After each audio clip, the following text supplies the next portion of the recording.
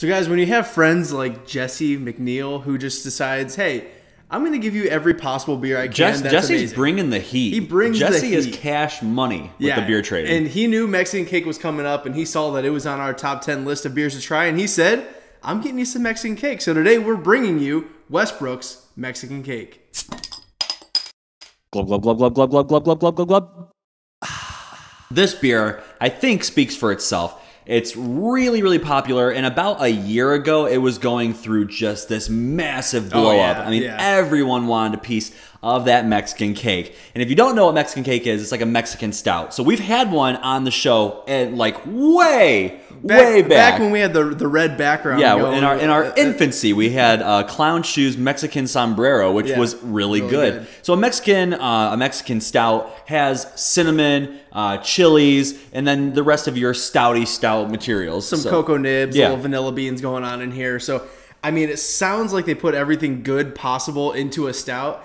I, I can't wait. I want to start just putting my nose into this and see what this really has to offer. So let's uh, take a sniff. All right, That's, Wow. that smells fantastic already. that packs a massive punch right off the bat. Now I get tons of vanilla, uh, more than I thought I would, Oh and a nice chocolatey kind of kind of like milk chocolate going on too. Dark roasted grains. It smells smooth. It's punching you in the face, but at the same time, it's not one of those like alcoholic punches. It has cake quality to it. Like it smells like cake.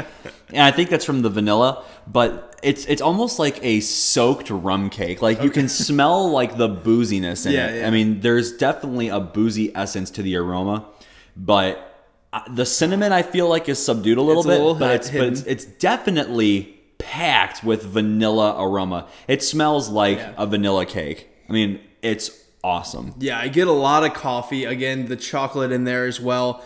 I shouldn't. I, I'm not. I'm not getting any pepper, uh, which is a little bit surprising because it says that there's what habanero in here, right? Uh, it, it- yeah, habanero. Right. right. So yeah, some right. habanero. So I'm expecting a little bit of a kick, which will be Well- nice. But I don't get much of a pepper aroma, which is good because usually I think they smell like feet. Okay, I'm pretty freaking pumped, Corey. I can't even talk. I'm pumped for Mexican cake. Let's do it. I'm excited. Cheers.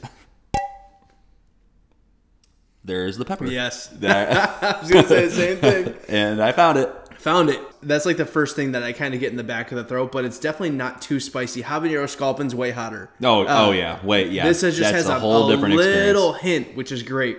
I actually love it. I mean, I'm pretty impressed by this beer. Yeah. It does have that mouthfeel dough. It's got a really great feel to it. I love that spice. I just keep going back to it because that really shines. It's it's lacking a little bit of the robust stoutness that I was sort of mm-hmm. anticipating. Not that they're the same beer, but just as a point of reference, like Bourbon County, that is like that is like stout. Like it's Right. it's hearty and and like it's almost chewy. Yeah. This one has a great mouthfeel, but it's it, it is lacking just a bit of that robust punch. Yeah, I hear you. I can't even get to the like auxiliary flavors that you're describing because I'm really just focusing on that really nice burn. I'm trying to pull out cinnamon, and it's like at the very, very end, I get a little cinnamon. I kind of get that that Coca-Cola flavor though as well. A, a big burst of vanilla, maybe some like fudginess, but really, it's not as bold as I expected it to be. And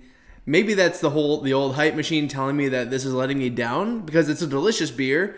But I think people uh, might have went a little crazier than they should have before this one. Do you want me to go first so you can have a little bit more time to think?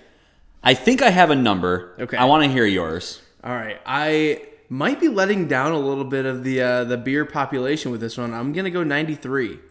Uh, I think when I came into this, I, I even told Ron. I said we might have to clear some space on our double hundred shelf for this. I think it's really, really, really good, but it's not mind blowing. I was gonna, I was gonna go like 91, nah, but uh, I kind of like 93. That feels that feels good. So I'm Yeah. gonna go 93 as well. It's really good. It's really interesting. It's really fun.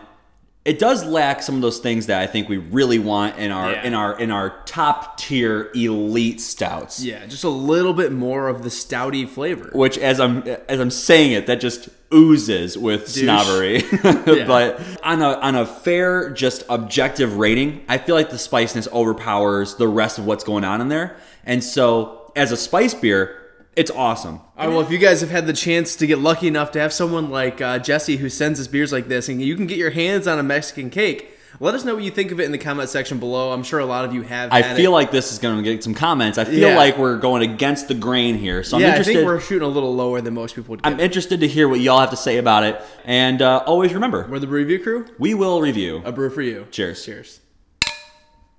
Guys, Johnny from Bottle Caps and Corks hooked us up with some awesome bottle cap wearable memorabilia. They're Yeah. magnets or buttons that you can put on your shirt or anywhere that you like to display those. We collect bottle caps ourselves, so it's awesome. If you'd like some bottle caps, we're just making it rain bottle caps. If you want some bottle caps and corks, bottle cap magnets, or buttons, all you gotta do is leave us a five star review on our iTunes podcast, and we're gonna hook you up with some complimentary bottle cap buttons from Bottle Caps and Corks. Thank Johnny for the product, and we will see you next time.